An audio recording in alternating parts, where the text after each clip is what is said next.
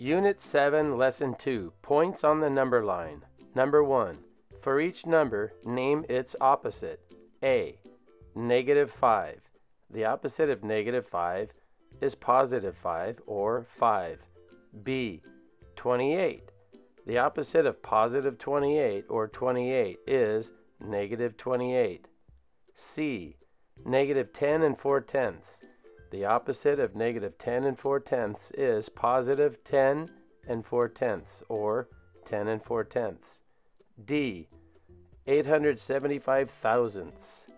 The opposite of 875 thousandths is negative 875 thousandths. E. Zero. Zero is its own opposite. F. Negative 8003. The opposite of negative 8003 is positive 8003 or 8003. Number 2.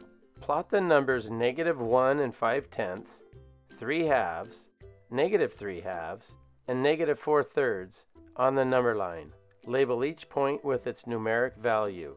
Since negative 1 and 5 tenths has the same value as negative 3 halves, they have the same location on the number line. To the right of it, or slightly closer to zero, would be negative 4 thirds. And then on the positive side of zero, we have 3 halves.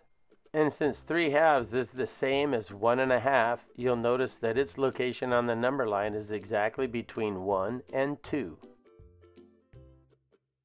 Number 3. Plot the following points on a number line. Negative 1 and 5 tenths. In blue, you can see negative 1 and 5 tenths to the left of 0, halfway between negative 1 and negative 2. The opposite of negative 2. Well, the opposite of negative 2 is positive 2. So you'll notice two units to the right of 0 on the number line, I've plotted the opposite of negative 2, which is positive 2. The opposite of 5 tenths. Well, the opposite of 5 tenths would be negative 5 tenths. So you'll notice halfway between 0 and negative 1 on the number line, I've plotted negative 5 tenths.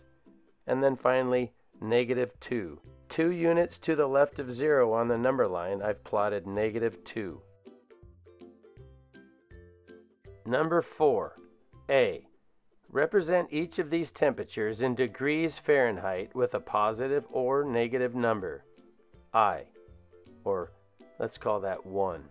5 degrees above 0. That would be 5 or positive 5. 2. 3 degrees below 0. That would be negative 3. Number 3. 6 degrees above 0. That would be a positive 6 or 6. 4. 2 and 3 fourths degrees below 0. That would be a negative 2 and 3 fourths. B. Order the temperatures above from the coldest to the warmest. Well, the furthest below 0 in this case would be negative 3, then negative 2 and 3 fourths, then 5, and then the warmest would be 6. Number 5. Solve each equation. A. 8x equals 2 thirds. That's the same as 8 times x equals 2 thirds. We need to solve for x. And in order to solve for x, we're going to divide 2 thirds by 8.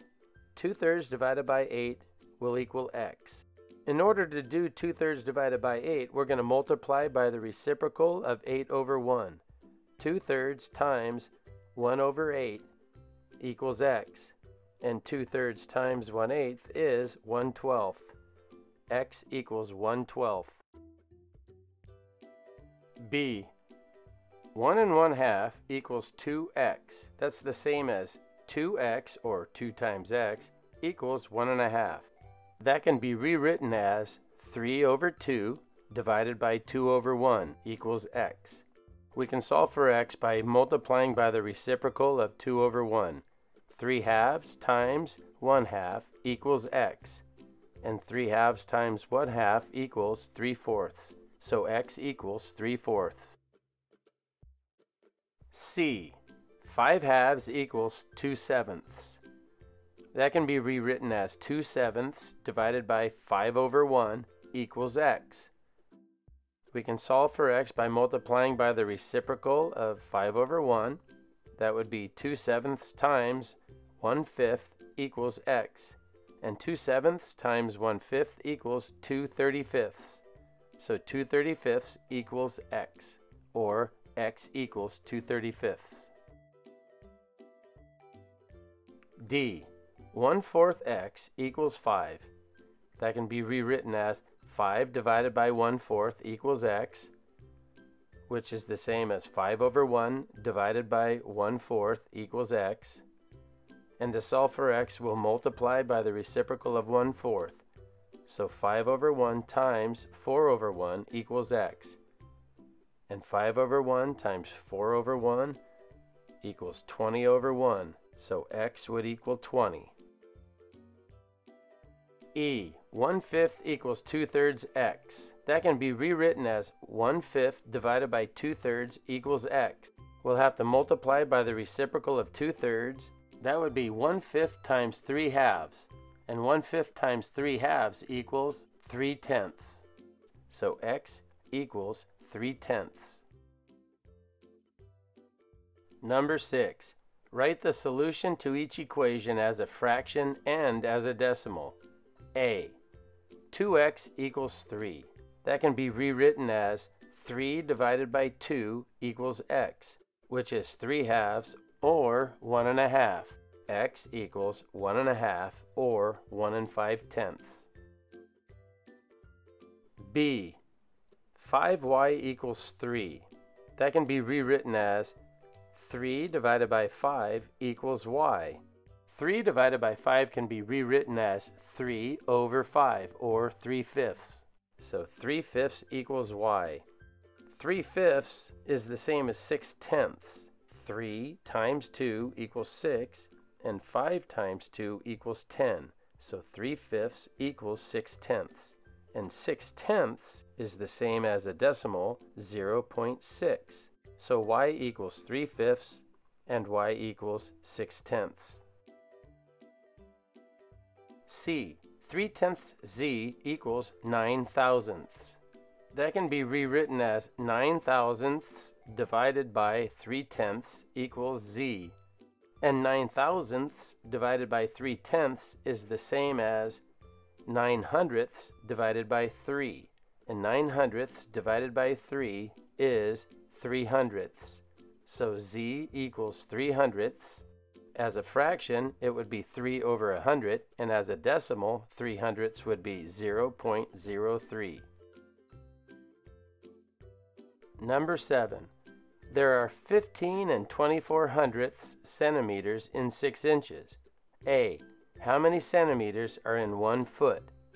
Well, 6 inches times 2 equals 1 foot, so 15 and 24 hundredths centimeters times 2 is going to equal 1 foot. So there are 30 and 48 hundredths centimeters in one foot. That's just less than 30 and a half centimeters in one foot. B. How many centimeters are in one yard?